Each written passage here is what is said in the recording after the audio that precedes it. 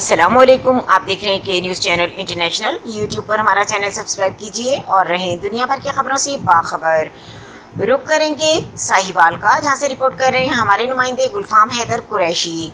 साहिवाल, नवाही गाँव 131 बटा 9 एल का रिहायशी यासीन अपनी बीवी बच्चों के साथ लेकर मेहनत मजदूरी के लिए इलाका थाना गल्ला मंडी की हदूद। चक नंबर 133 बटा 9 एल जा रहा था। कि शानी नामी तीन मोटरसाइकिल सवारों ने मोटरसाइकिल मासूम आमना को दे मारी जिससे नन्नी मासूमा की दोनों टांगे टूट गई। मुतासरा खानदान का कहना है कि हम मेहनत मजदूरी करने वाले गरीब लोग हैं, हमारे साथ बहुत ज़्यादा हुई है। नन्नी मासूमा हमेशा के लिए माजूर हो गई है। बच्ची की टांगे तोड़ने वाले गुंडों के खिलाफ कार्रवाई अमल में लाई जाए और हमें इंसाफ फराहम किया जाए।